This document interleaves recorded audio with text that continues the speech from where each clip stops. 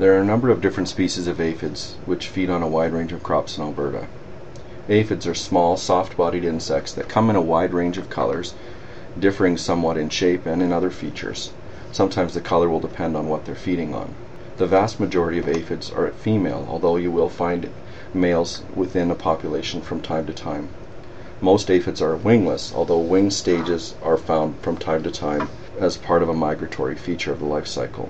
Aphids increase in number very quickly, reaching maturity within 7 to 10 days.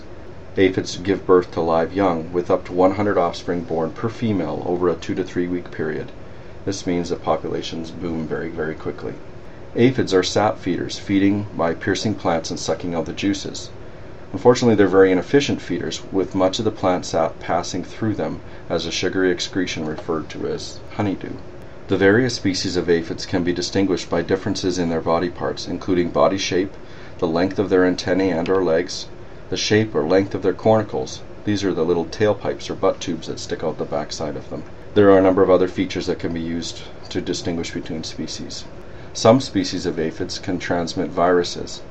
Otherwise, their feeding can cause plant distortion or deformation. In some cases, this means that plant parts will become twisted or curled or cupped. In other cases, you'll see a plant which will result in a burst of color or bubbling or cupping or um, in some cases the formation of little pocket galls or uh, rolling of leaves. It depends on the species. Aphid species that are of concern to horticultural crop producers in Alberta include green peach aphid, potato aphid, foxglove aphid, and woolly elm or woolly apple aphid. There are other species that can be pests on plants. In most situations, aphids are easily enough managed using chemical or biological controls.